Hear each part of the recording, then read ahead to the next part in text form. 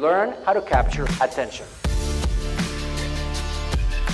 My job is to wake people up. There's one particular one that I've been focused on a lot in the last few months, and that is this one trust the algorithm. I want you guys to trust Facebook, trust the system, trust Instagram. Don't decide what you think is good copy, what you think is a good video, what you think is an actual overall nice image. Don't decide any of that. Let the algorithm help you find out. Because this algorithm, trust me, is smarter than all of us and it's faster and it can come up with data faster than any of us ever could dream of. So, what you do is that you run things, you run campaigns, branding campaigns, traffic campaigns, objectives of, selling, lead generation, and then you get Facebook to provide you with data as to which ones are working and which ones are not.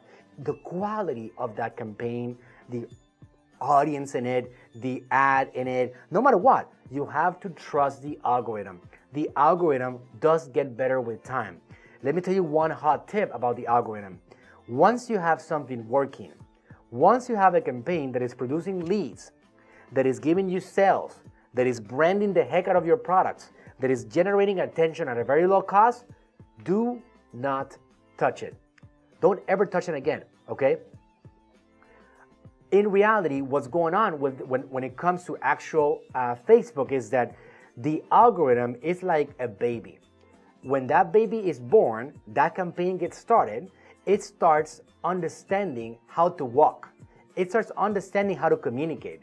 It starts understanding how to find things, how to touch things, how to eat, little by little. Once that baby gets into a stage of being more independent, it is now rolling and it can survive more on its own and eventually becomes an adult.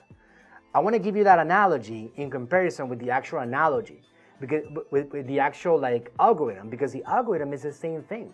At the beginning, it's going through something called the learning phase.